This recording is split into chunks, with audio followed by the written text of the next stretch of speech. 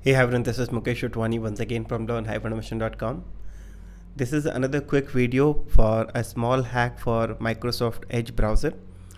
See the moment you start working with Selenium and let's say if you have to do cross-browser testing, Chrome, Firefox, Safari, Edge, we can do that easily, right? But the moment you start working with Edge browser and once you're done with the loading application, you will see this small personalize your web experience option, right? Where you have to click on got it, manage settings and so on. Sometimes this small pop-up can create an issue for you. Suppose you have some web elements which is coming uh, behind this personalized option. So when you try to perform some activity, you might come across some exception. So one option is you can quickly click on got it and continue. But what if you want to disable this option? Okay, because when you are running a fresh profile, you don't need any account. For example, if I open any session it will ask you to use any specific profile right? Profile one if you want to add any account you can use that account. Or if you have some signed up account you can use that sign up account as well. But in order to work with selenium we don't need any profile we don't need in an account right? And i don't want this option to be enabled. So if you want to disable this we will be using one simple argument called guest option which will basically hide this option for you. So if I show you manually first, then I will show you how to do this with the help of automation. For example, if I don't want any profile, if I go to other profiles and if I click on become or browse as guest, now you can see we have a guest profile. So in guest profile, you will not get that option personalize your web experience because it's a guest profile. So if you don't want that pop up in Selenium, we can use one argument which is hyphen hyphen guest and then you will not get this kind of issue. So let me show you how you can do this. Very easy. So just to get started again I will quickly write the code to start the edge browser. So I will write WebDriver driver equal to new edge driver okay? You will only get this option in edge. You are not getting this option with Firefox other browsers so I will use WebDriver driver to new edge driver. And the moment I use any application okay it is not dependent on any specific application. It's a browser option that we have. So irrespective which application you use you will see this option. So right now I have not used anything and it's launching edge browser here.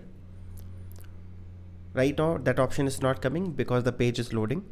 Once page will load you will see that option still loading.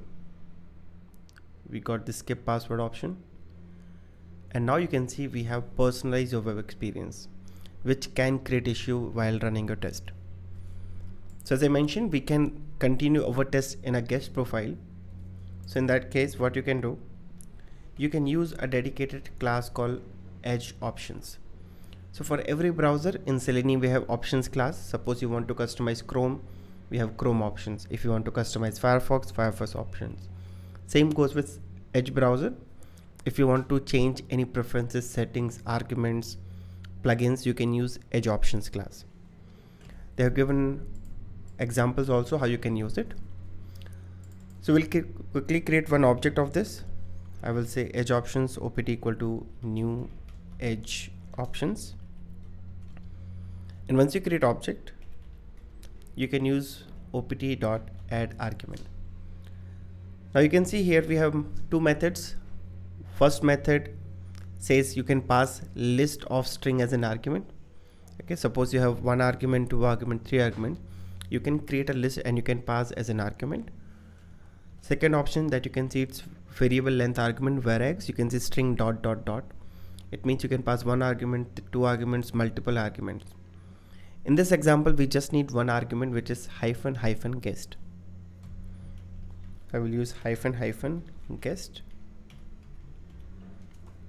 And once you're done with your options, you need to use these options in edge driver constructor. So the moment you create object of edge driver, right, you will see we have multiple constructor.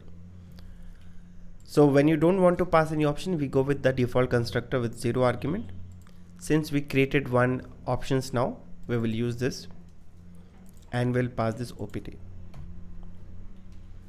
now if I execute this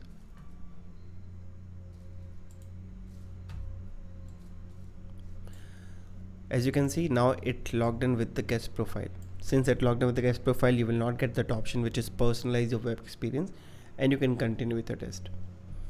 So very quick hack but very useful uh, definitely it will help you when you're doing cross browser testing. That's all about this video. In case this video helped you in any manner then do support this channel share with your friends colleague subscribe to this channel and i will see you in the next video. Till then bye bye take care